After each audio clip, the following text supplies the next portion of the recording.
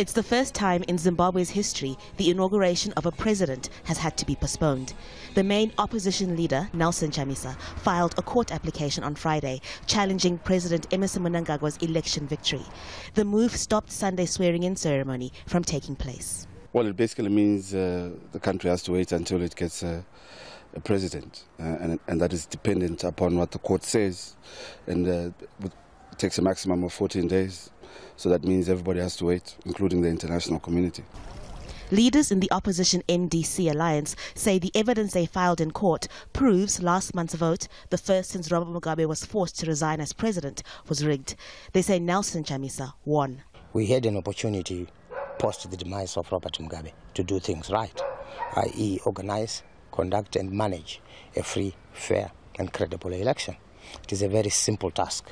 But ZANU-PF have decided that it must not be a simple task by interfering in this electoral process.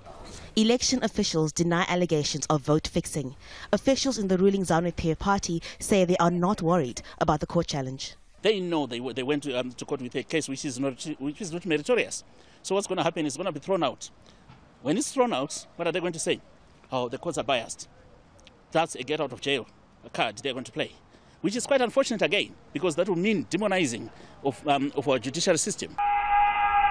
Western governments and investors will be closely watching to see how independent Zimbabwe's judiciary will be. This is where the inauguration was supposed to happen, the National Sports Stadium. If the Constitutional Court orders a fresh election that has to take place within 60 days.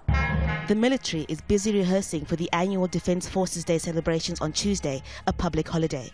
But everyone here is keen to know how strong the evidence filed by the opposition is and whether it could change the election result. Haru Mutasa, Al Jazeera, Harare.